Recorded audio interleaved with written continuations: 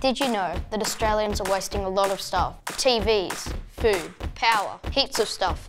So much so that soon we could be living in houses made out of TVs or drinking from tin cups. I'm going to make a difference. You should too.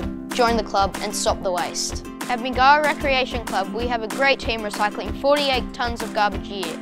That's almost three semi-trailers big. This roof collects enough water to sustain these gardens.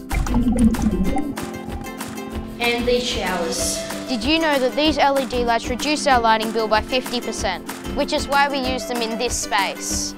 And here. Stop! Did you know the normal way of producing electricity is really wasteful?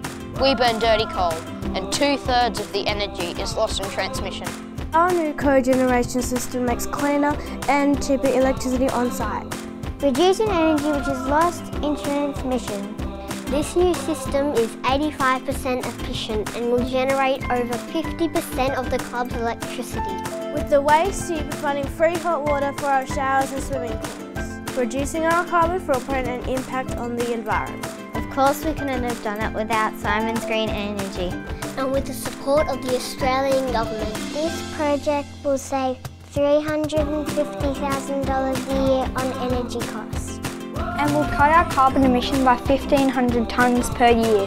That's like planting 15,000 new trees each year.